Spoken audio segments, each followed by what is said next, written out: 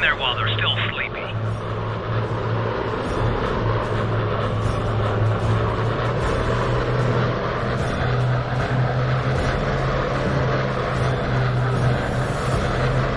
You have your targets.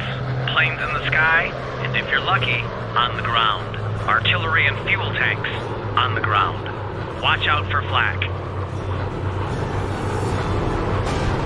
Dropping bomb. A